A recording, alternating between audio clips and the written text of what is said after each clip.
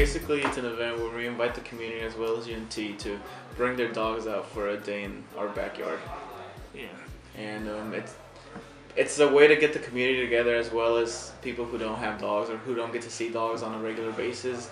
It's also a great way to interact with other people and it's a great way to get involved with the Denton Animal Support Foundation. For the first semester we didn't inv- involve food, but the second semester we sort of made it into like a tailgate style event. So the, the dog the, the event was for the dogs, but the people also had something to go for, which was the food and the music.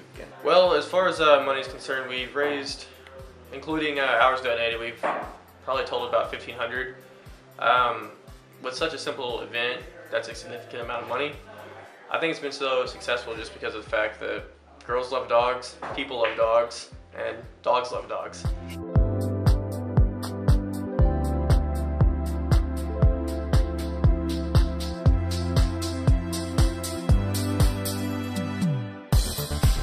I like Taus and Paws because it's a unique philanthropy event. It's not like many other, including the ones that we do, because it's not competition based. So all the stress that builds up before the event, everybody can just hang out when they're at Taus and Paws. There's food, there's dogs. It's just a lot of fun for people to be able to hang out, support a good cause, eat not bad food, uh, and spend some time with some dogs.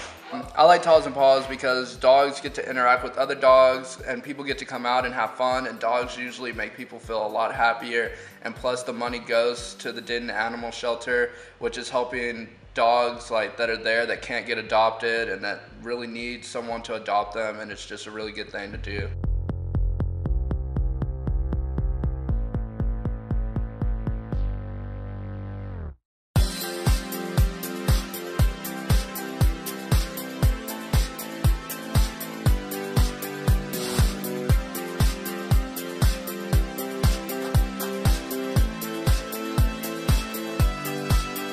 I like Taus and Paws because dogs are fuzzy and they're nice and they're really cool to play with.